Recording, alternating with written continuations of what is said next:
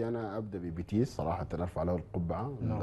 المدرب الأرجنتيني مانويل بريجريني صراحة آه، من ال- الفرق آه، ريال بيتيس كان بيتنافس في المركز السادس وال12 وال11 الآن بقى في المركز الخامس. يمكن بدأ الدوري حتى متصدر كان. مصدر نعم. آه، وثاني شيء ارفع له القبعة فاز ببطولة كأس الملك. ملك، نعم. وصراحه من الفرق اللي حتكون مشاركة في السوبر الأسباني. نعم. ففريق ما فريق صراحة ما يستهان به فريق قوي جدا عنده محترفين من أعلى المستوى يجوا له لعيبة من لعيبة برشلونة السابقين.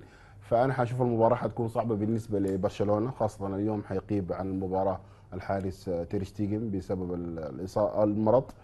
فبرشلونة محتاج إنه يصالح جمهوره ويرجع لسكة الانتصارات من الباب الفوز على بوابة ريال بيتيس. المباراة حتكون صعبة صراحة بين برشلونة وبيتيس. بيتيس يسمح للقب ينافسوا له في دوري أبطال أوروبا الموسم القادم. المباراة حتكون سجال. القلبه حتكون للخبرة صراحة وحتكون للفريق اللي حيستغل الأخطاء الخصم وحيحرز أهداف.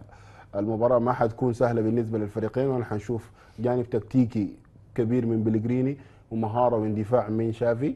وحنشوفه في أرض الملعب. برشلونة عايز تأمن مركزها وتكون الم- المباراة القادمة في راحة تامة ضمن المركز الثاني. وبيتيس قلنا بيطمح إنه يمشي في الترتيب للمركز الرابع بيضمن له برضه موسم أو بيضمن له خانة موجودة في دوري أبطال آه، أوروبا الموسم القادم.